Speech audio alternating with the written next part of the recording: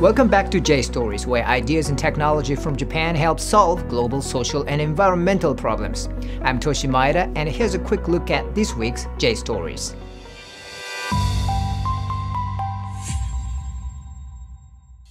From Blade Runner to Back to the Future, flying cars have been a feature of science fiction for years.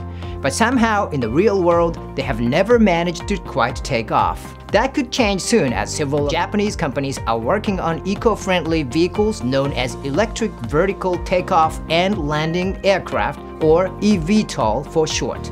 There are even plans to display flying taxis at the upcoming World Expo 2025 in Osaka. These new winged automobiles can cruise at lower altitudes than airplanes, are cheaper to operate than helicopters, and have zero CO2 emissions.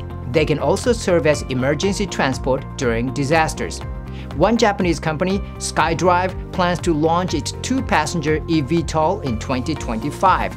At the moment, it has a top speed of 100 km per hour and a maximum flying range of 10 km.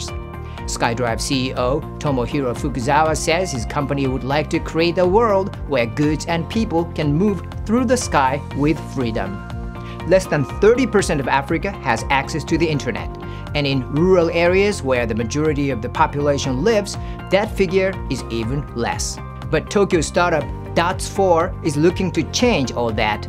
Since being set up last October, the company has already provided over 50 African villages with internet access, and it plans to double that by the end of the year. The company provides distributed network systems that work a little like home Wi-Fi range extenders. What's more, they are extremely cheap to install.